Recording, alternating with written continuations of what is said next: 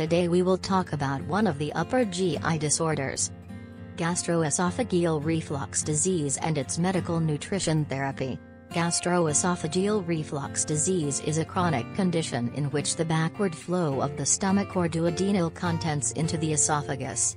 Risk factors of GERD include smoking, eating late at night, consuming fatty or fried foods, going to sleep right after having meal, taking medication with our doctor consent, and drinking alcohol or coffee.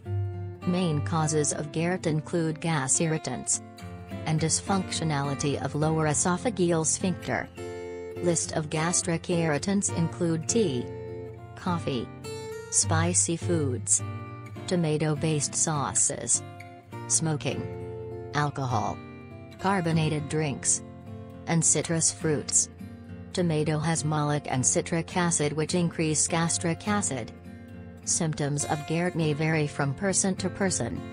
Common symptoms include chest pain, difficulty in swallowing, dry cough, heart burning, and regurgitation of food.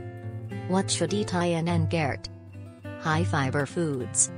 Fibrous foods make you feel full so you are less likely to overeat which can contribute to heartburn.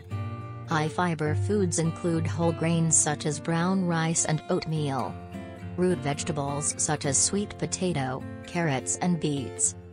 Green vegetables include broccoli and green peas. Alkaline foods can help strong offset stomach acid. It includes banana, watermelon, fennel seeds and cauliflower. Watery foods can dilute the stomach acids. Choose foods such as cucumber, watermelon, lettuce, herbal tea and broth-based soup.